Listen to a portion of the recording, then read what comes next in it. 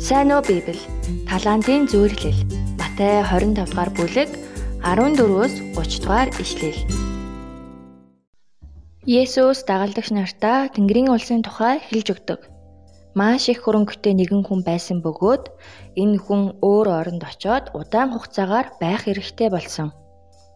Тиймээс гэртээ байгаа итгэж болох зарцнараа дуудаад тус бүрийн чадварынхан дагуу эд хөрөнгөө хариуцуулж үлдээв.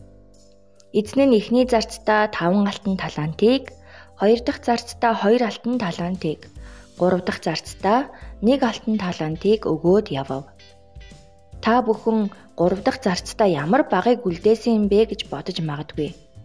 Одоогийнхоор бол 1 алтан талант бараг 1 тэрбумтай дүүцэх учраас хідээгээр 1 талант гэж байгаач үнэхээр үнэхээр их мөнгөө хариуцуулсан хэрэг. Эзэн нь гэртээ байхгүй байх хойгуур гурван зарц нь өөрсдийн авсан талантаараа юу хийх вэ гэж бодцгоосон. Таван талант авсан зарц нь эзнийхээ мөнгийг сайн ашиглаж нэмж таван талант олов. Хоёр талант авсан зарц ч мөн адил эзнийхээ мөнгийг сайн ашиглаж нэмж хоёр талант олов. Тэгтэл нэг талант авсан хүн нь юу болсон юм бол тэр мөнгөө газарт булсан чигээр нь байлгав. Цаг хугацаа өнгөрч эзэн нь гэртээ эргэж ирэв. Зарц нараа дуудаж тооцоо хийхээр болов. Таван талант болоод хоёр талант авсан зарц нар нь эзэндээ авсныхаа хэрэг нэмж олсон гэж хэлдэг. Эзэн нь сайн байлаа. Та нар бол үнэнч итгэмжит боолууд юм. Тиймээс миний баяр баясгаланд орох тун гэж хэлв. Нэг талант авсан зарц мөн эзнийхээ өмнө очив.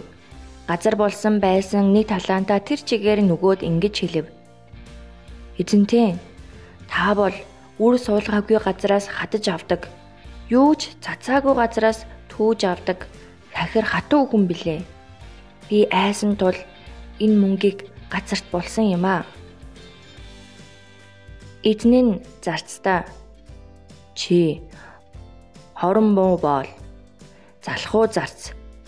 Тэр мөнгийг банкнд ч болтугай хадгалуулахгүй яасан юм бэ? Эзэн нь 3 дахь зарцтай урам хугарав.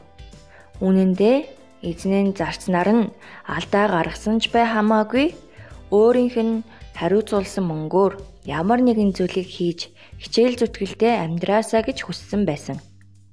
Мэдээж нэмж мөнгө олвол сайн хэрэгч гэлээ хичээл зүтгэл гаргасан бол бүтлгүйдсэн ч гэсэн эзэн нь түүнийг буруутгаж шүүхгүй байх байсан.